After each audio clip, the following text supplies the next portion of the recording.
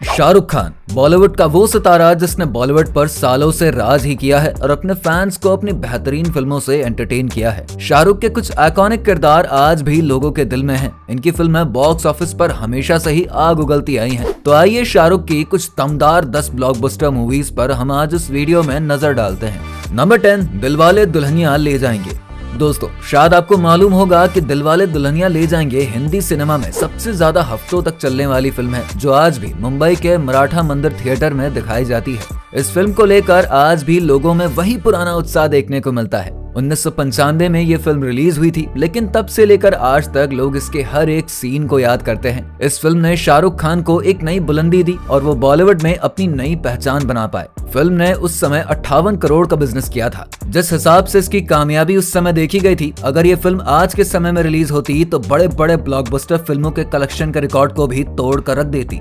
Number nine कुछ कुछ होता है। उन्नीस में आई कुछ कुछ होता है फ़िल्म में शाहरुख खान ने राहुल का किरदार निभाया था।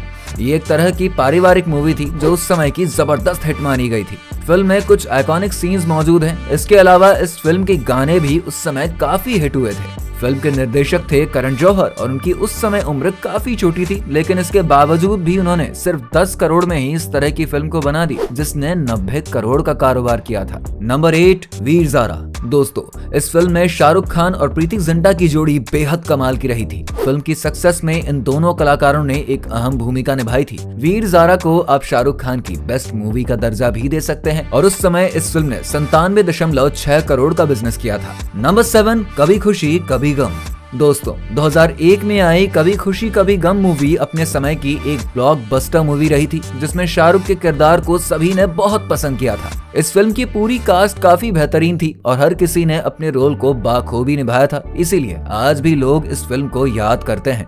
उस समय इस फ़िल्म ने पूरी दुनिया भर में 119 करोड़ की कमाई करी थी तो वहीं भारत में इस फ़िल्म का कलेक्शन पचपन दशमलव नौ करोड़ का था। Number six Chennai Express Shahrukh Khan की चेन्नई एक्सप्रेस फ़िल्म 2013 में रिलीज़ हुई थी, जो कि एक कॉमेडी फ़िल्म थी। रोहित शेट्टी द्वारा इस फ़िल्म को बनाया गया था और ये फ़िल्म लोगों को बहुत पसंद आई थी। और इस फ़िल्म में शाहरुख और दीपिका की केमिस्ट्री अलग लेवल पर ही थी। कमाई के मामले में भी इस फ़िल्म ने काफ़ी रिकॉर्ड तोड़े और अपने टाइम की एक ब्लॉकबस्टर मूवी साबित हुई। दोस्तों, इस फ़िल्म का वर्ल्ड रिकॉर्ड कलेक्शन चार सौ बाईस करोड़ का रहा था। Number five happy new year Shahrukh Khan की हैप्पी न्यू ईयर मूवी 2014 में रिलीज़ हुई थी और ये फ़िल्म भी एक कॉमेडी फ़िल्म थी।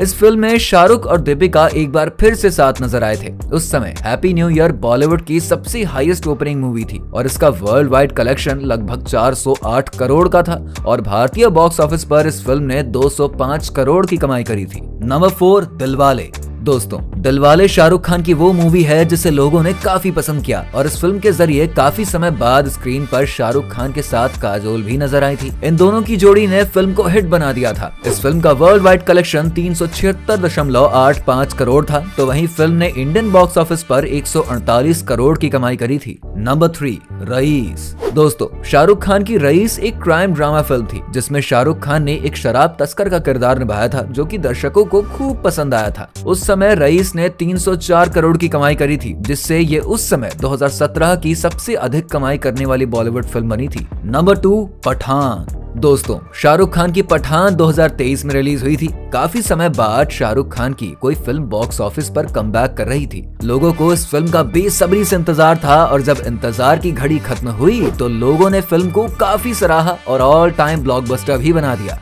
पठान ने दुनिया भर में एक हज़ार पचास दशमलव तीन शून्य करोड़ की कमाई करी थी। नंबर वन जवान। एक हज़ार एक सौ अड़तालीस दशमलव तीन दो करोड़ से अधिक की कमाई के साथ ये 2023 की सबसे अधिक कमाई करने वाली भारतीय फ़िल्म है। दूसरी सबसे ज़्यादा कमाई करने वाली हिंदी फ़िल्म और पांचवी सबसे ज़्यादा कमाई करने वाली भारतीय फ़िल्म बनकर ये उभरी है। उनहत्तरवे फ़िल्म फेयर पुरस्कार में फ़िल्म को सर्वश्रेष्ठ फ़िल्म और सर्वश्रेष्ठ निर्देशक सहित चौदह नॉमिनेशन प्राप्त हुए हैं। शाहरुख खान के ज़बरदस्त अभिनय और फ़िल्म में इस्तेमाल हुए यूनिक एक्शन सीक्वेंसेस के ज़बरदस्त सीन्स ने पर्दे पर एक अलग ही प्रभाव डाला है। शायद इसीलिए इन्हें किंग ऑफ़ रोमांस कहते हैं। दोस्तों, वीडियो अच्छी लगी हो तो इसे लाइक शेयर करके हमारे चैनल पूछता है भारत को सब्सक्राइब कर लीजिए।